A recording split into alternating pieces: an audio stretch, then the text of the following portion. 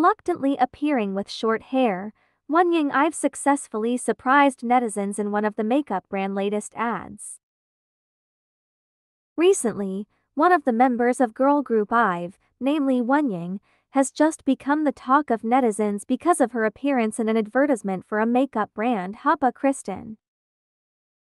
As we know, Wonyoung herself has always been seen appearing with her long hair since her debut until now, however, with the appearance of Wonyoung with short hair, it immediately caught the attention of netizens. In the photo she uploaded, Wonyoung herself was looks innocent with her beautiful face, and she also looked unique with short bob hair, it seems to be just a fake hair.